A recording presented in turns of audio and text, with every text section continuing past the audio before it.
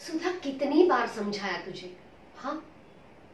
पर मेरी पते की बातों को इग्नोर करने की आदत पड़ गई है तुझे।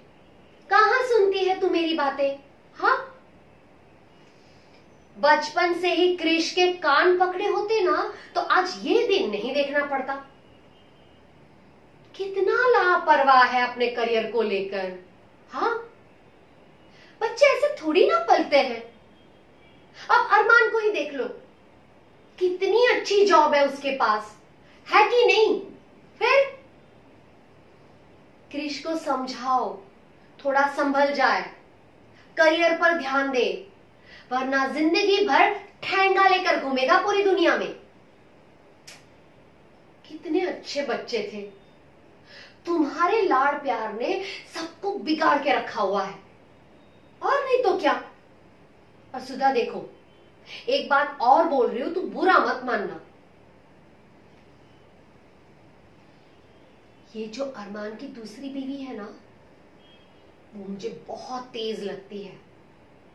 संभाल जरा, लगाम खींच के रख।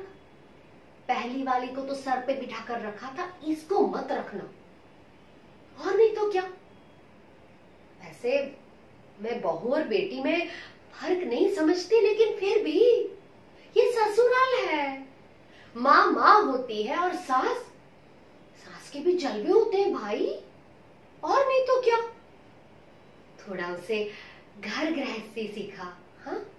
ऑफ़िस जाना कम करवा, काम में हाथ बटाना सीखा। और नहीं तो क्या? वरना चाबी के छल्ले में बाँध कर कमर पर लटका कर घूमेगी तुझे। फिर मत बोलना। कि आपने बोला नहीं दीदी। और नहीं तो क्या?